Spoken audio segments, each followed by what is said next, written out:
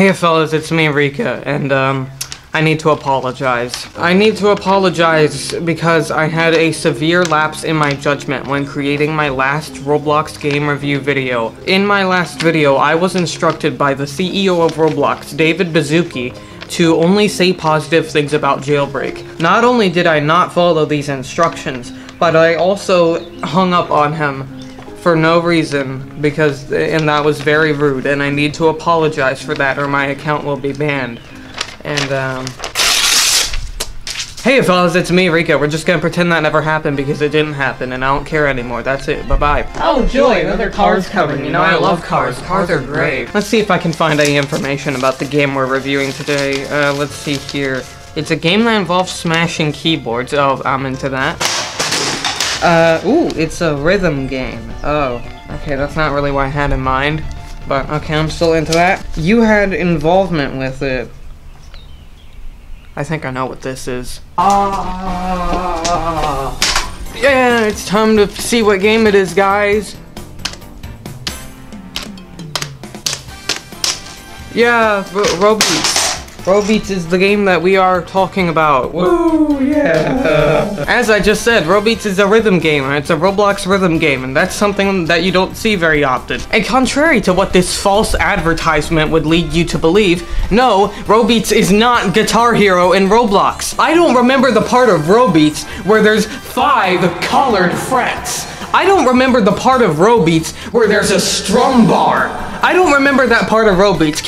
You know, you know, maybe I missed something. Maybe there was some kind of secret Guitar Hero mode or something. But no, stop misleading people. This is not okay. In Robeats, there's uh, there, you know, there's four thingies coming down, and you have to like you know, hit the notes and the thingies so you can win the game. And I, am pretty sure I'm supposed to be doing the, the actual gameplay section, so I think I'm just gonna cut to that now.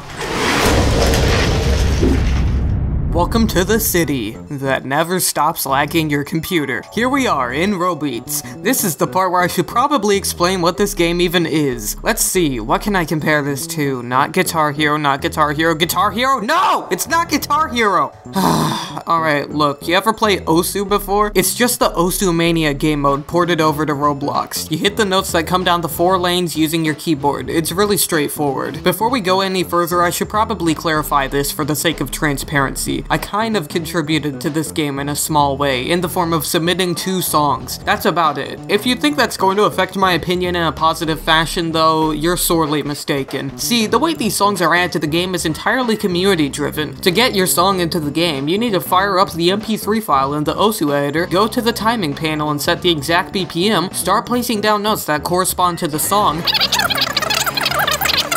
Sorry, I got a little bit carried away there. Once you finished up your map and created two separate difficulties for it, you gotta submit it to the Trello board and get through a painstaking process of approval. If your map design was at least mildly competent, it'll probably get in. Congratulations, enjoy your fat payment of 5,000 Robux, spend it wisely, or don't. Okay, we've got the basic mapping process explained, so let's talk more about the game itself. As I mentioned before, this game is simply a Roblox port of the 4K mode in Osumania, and it sounds innocent enough, right? I mean, I'm a sucker for rhythm games, and I'm a sucker for Osumania, so how could you manage to mess this up exactly? See, it's a little something called microtransactions. Pay to win, woohoo! Everything is paid, and I mean everything. During the game's very early stages, which I played in, it really wasn't anything more than a simple Osumania port. All of the songs were entirely free to play, and although the selection was quite small, it's the thought that counts, I guess. Shortly afterwards, though, the shop update rolled around. Now you gotta constantly grind for coins so you can save up to pay for the songs you actually want to play. Yay! What's that? You're an experienced player that wants to play a higher difficulty of the same song? Better get back on the grind, buddy, because in order to get one of these higher difficulties, you need to own five copies of the same song and combine them. Sounds easy enough, right? Just keep keep buying it in the shop.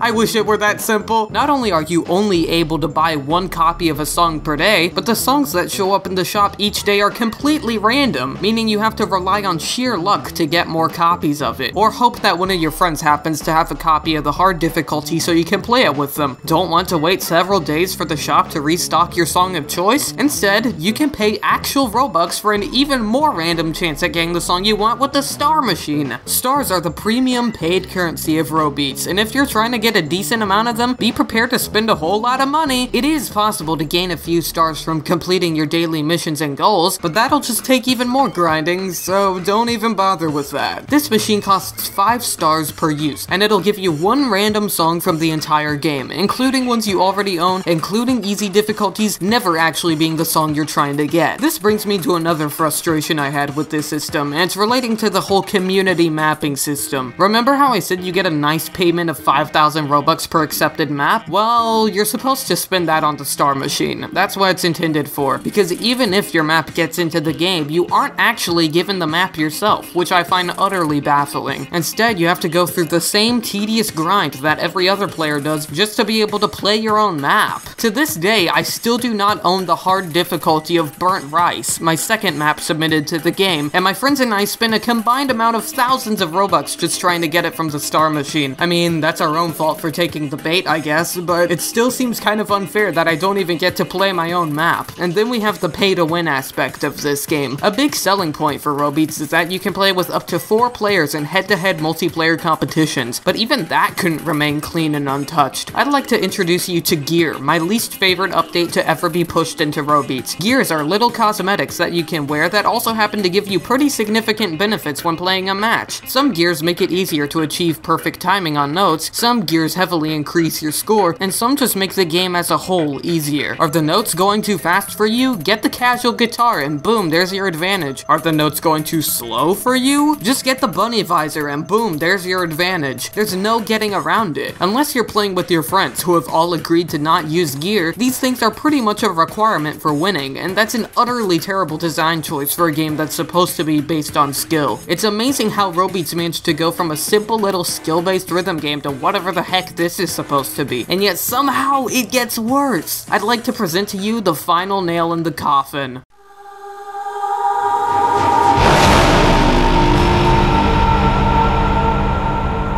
Ladies and gentlemen, you can now spend coins for yet another random chance at getting random materials so you can craft songs and trade your materials with other people and use your materials to upgrade your unfair gear to be even more unfair and overpowered. We have reached a new low, and while I must commend Spotco for doing a very good job with this little business he's got going, I simply can't respect this strategy, especially when it's just tarnishing this game I used to love. Luckily, there is a light at the end of the tunnel tunnel, coming in the form of the Robeats community server. Essentially, the community server is a fan-made spin-off game that uses the basic source code of Robeats to deliver a simple and monetization-free version of Robeats. I'll be leaving a link in the description for any of those who would like to try it out. Or just play Osumania, or Stepmania, or the bazillion other games identical to it. I think that's all I have to say now.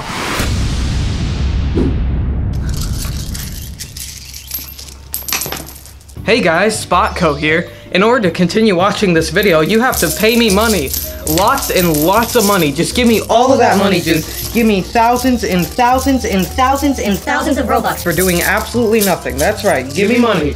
Give me money. Woo! Give me money. Get it? Because Robeats has a lot of things that you have to pay for, and the creator wants money and it's see see it was a pretty it was a pretty good joke you know great now i gotta pick up all these coins thanks guys that's the main thing i don't like about Robeats you have to pay for everything i don't remember the part of osu where you have to spend 5 million osu coins to get a song pack. I don't think that's how it works, buddy. See, the thing is, the whole ideology behind Robeats is to make as much money with as little effort as possible. And hey, I gotta commend Spotco for doing a good job of that, alright? He is doing a very good job of his goal. You know what they say, uh, hate the game, not the player. I think that's a thing people say. Really though, Robeats has just fallen from grace. I mean, when it first started out, it was like, oh, just an innocent little rhythm game, you know, all your songs are free, just pick one, play it, enjoy it. It all went downhill when, uh, you know, you had to start paying for songs and then you had to get gear so you could even win a game and now it's, now it's just a mess, dude. And this is coming from a guy who submitted two maps to the game and got in. That's right, two entire maps. So that means my opinion matters, right? Right? No? No? Okay, well, I mean, I mean, I tried, okay? I tried. I mean, whatever. So in conclusion, Robeats gets a from me and that's not a good thing. That's that's the opposite of a good thing right there. Okay, that's a That's a not good thing. It's a bad thing. And uh-oh, that means it's fate determining time for showing us this just fallen game that used to be not fallen, you know. You know the drill, buddy. I mean, if you show us a game like this, you're not you're not gonna get off easy, you know. I'm not letting you off the hook this time, alright? It's time.